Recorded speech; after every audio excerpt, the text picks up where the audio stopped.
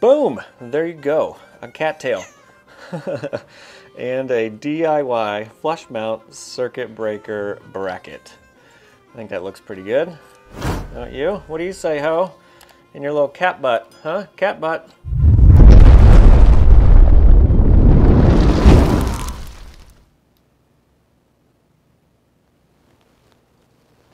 What's going on, everybody?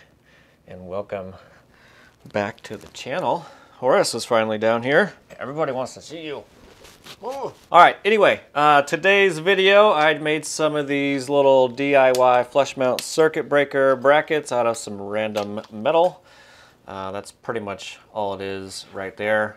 Threaded, you know, all that kind of fun stuff. No, no, Horace is probably going to help out a lot today, hopefully. All right, so I did finally get some circuit breakers for the battery boxes over there in the power wall area. These are I don't know how you pronounce it, Chitaxi, something like that. Yeah, I don't know. These are 125 amp circuit breakers I'm going to be putting inside the battery boxes over there. Nope. I don't plan on using these for protection or anything like that. They're just an on and off switch so I can turn off each individual battery box by themselves. I didn't go crazy expensive or anything like these. I think they were only like 20 bucks each and I got two of them. The other one's still in the box right here. Anyway, these are the Chitaxi DZ47NZ-125 and they are B125 which is a B curve. I probably could have went with a C curve, you know, but that's Horace moving the camera. Thank you. I probably could have went with a C curve, but I went with a B curve. If I remember right, a B curve is like two to three times, you know, the 125 amp load, and C curve is like five to 10 times. Uh, don't quote me on that, but it's something similar to that. Anyway, these are AC and DC breakers. If you guys wanted to see, you know, the little specs on here, um, yeah, there you go. That's pretty much what it is with cats. Yeah, it's just an on and off switch. That's all it's going to be. All right? Oh, actually, one more thing before we actually get to this stuff. I may have went and did something very sketchy right here. So if we follow these wires down, go through a couple of fuses, and boom, we have a little over 9 amps or 500 watts. I pretty much just threw some panels out here on my old solar water heater panels for a test. The reason I wanted to get all those up is because Signature Solar sent me this EG4 BrightMount. It's a solar, little solar rack. Yeah, so we'll be doing a video on this here pretty soon. I just threw those panels out there uh, just for a location so I could try it out. Basically this, I'm gonna set this up over there. And uh, yeah, that's pretty much what you get inside the package. This is box one of two. The other box has all the rails and stuff in it, but this looks pretty, really actually super simple to set up. I think with the panels I have out there, I can only fit five, but I'll probably end up just doing four. Yeah, anyway, so we set those panels up over there so we can kind of do a little test run and all that kind of stuff. And then later on, we'll be installing that guy. Alrighty, so basically what we're gonna do today real quick is I need to put up the other box right over here and then I need to move this charge controller right here and put it right up here, right here, and then the other one right here. Uh, we're gonna do that real quick and then I went ahead and marked this real quick for those circuit breakers I was talking about this one right here. Uh, yeah, hopefully that will fit just fine. We'll use my new bracket we got here and just drill a hole right here and hopefully we don't hit anything on the inside right here. So yeah, that's pretty much what we're gonna be doing today. Cutting holes, and of course I'm still gonna have to get to this one down here I'm gonna have to move the big battery again, at least out of the way, maybe I'll slide it over there. We'll see. Uh, and then we can at least get to that other hole and cut it. So yeah, we're gonna take care of this stuff real quick, and then we'll get to the circuit breakers.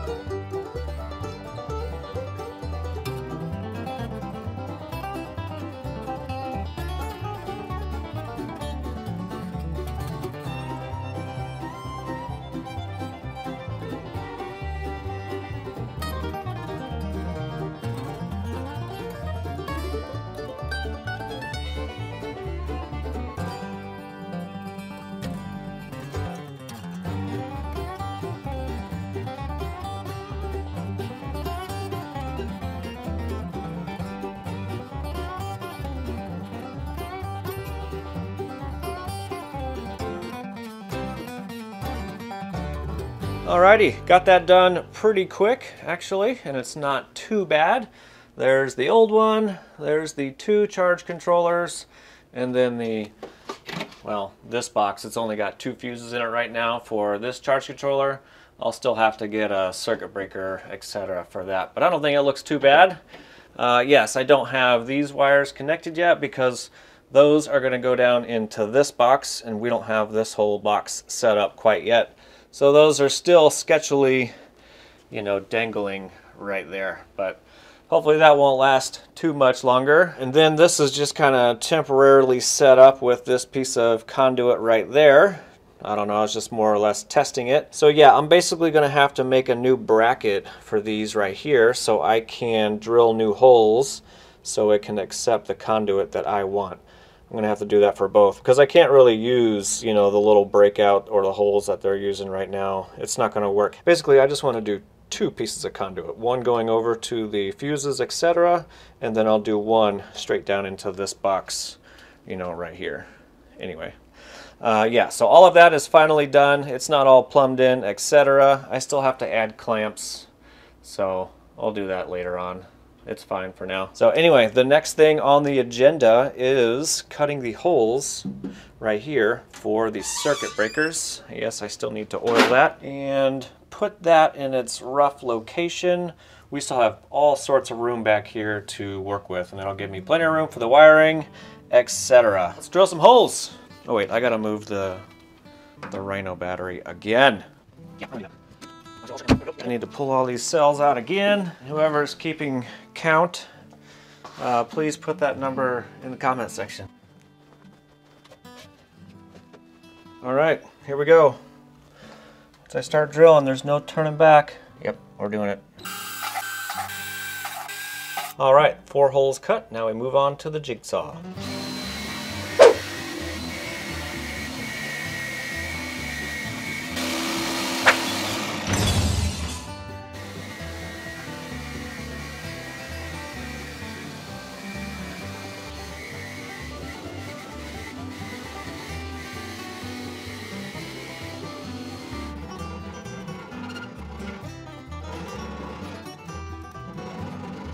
Alright, that was a little more filing than I had anticipated, but this back one over here, I was kind of running into that. So I probably should have drilled all this stuff before I did that, but that's okay. Here we go. Boom! That doesn't look too bad, does it? Or does it look terrible since it sticks out so far?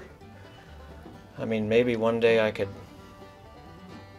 bring it more flush mount, but I don't know.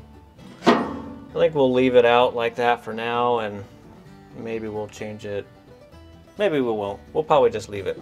All right, next is the bracket holes.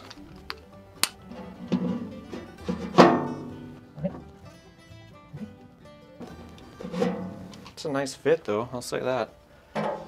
Okay, now we drill.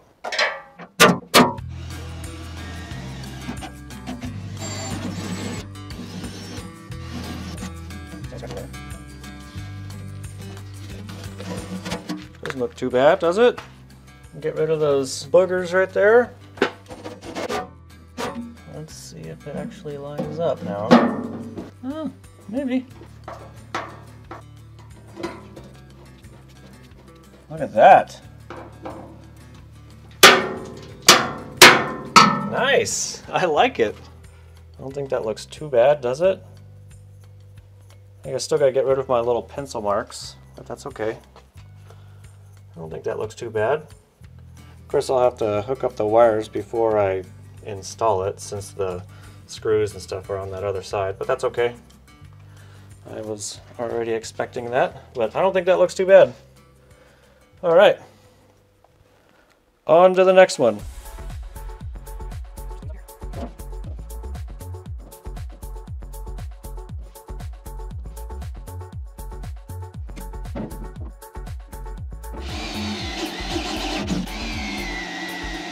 嗯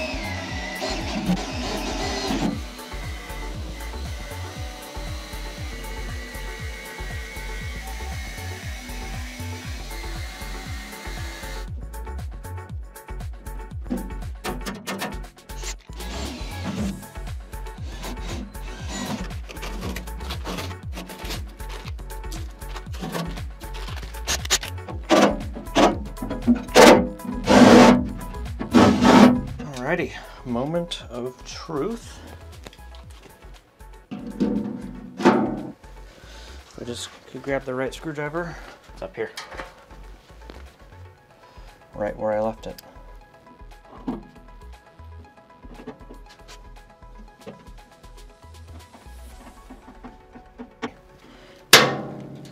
boom, all put back together. I just went ahead and put everything back together real quick, threw the batteries back in, threw the big battery back over here just so you guys wouldn't see me do it one more time. But I would say we're looking pretty good so far. So here we go. Here's the new circuit breakers on the boxes. I would say it looks pretty darn good. Uh, I can show you what it looks like from the inside. If you can see it okay. I'd say it looks pretty good. There's plenty of room in there to do all of our wiring, etc. Yeah, plenty of room. Plenty of room. Um, I guess the only thing I just literally thought of right now is if, you know, once we're all powered on and running the house, etc., one of my cats comes over here and says, you guys, we don't want any power to the house, and knocks it down. So then, my next question or thought was, is maybe making some sort of like guard, kind of like this right here. You know, similar to that. It doesn't have to be exactly like that. You know, just to put on the side, maybe it'd be a little bit harder for them or something to knock it loose or knock it down. Or if somebody could 3D print something, I don't know, just some thoughts. But anyway, this is what we're looking like so far. I would say we're doing pretty good, you know, just a little bit at a time. I mean, we're not in a race or anything like that. It's just part of the journey. So one more thing done in the journey, all right? So yeah, I would say we're doing pretty good. Uh, I guess the next thing what we'll probably do, or at least the next video, I would like to start plumbing in, you know, drilling holes in the side of here over to this box and then out of that box over to the inverter and maybe doing some more plumbing right here. Again, like I said, this is just temporary because I'm going to have to make new brackets for those. Well, now that I'm thinking about it, I still need to make a vent um, for the, you know, just in case there's a problem, I can vent outside. Uh, I might end up cutting a hole or drilling a hole either on this corner or on that back corner over there, you know, with a fan or whatever. And then once this piece of conduit is in there, that'll be my tube up to the next box. And then we can drill a hole maybe back over here in this corner.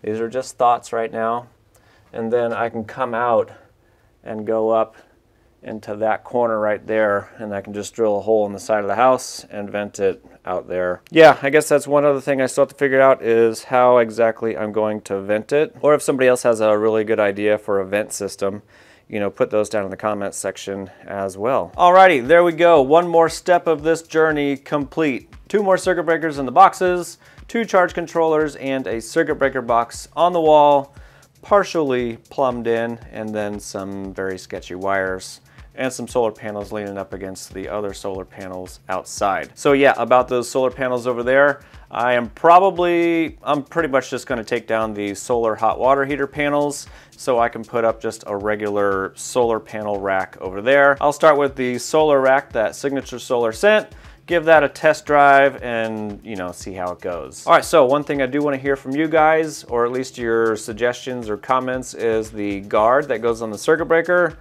Do you think I really need one? I don't know. Maybe I do, maybe I don't. And then I want to hear your thoughts on the vent system.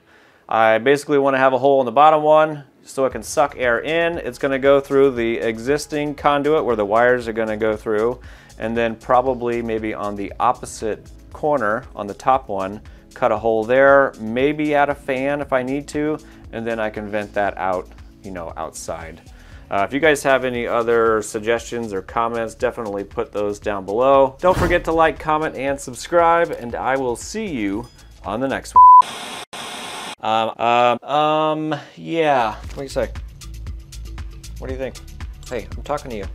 I'm talking to you. What do you think of this? Is this gonna work? Yeah, that's gonna work. Thank you. Nope, nope, don't do that.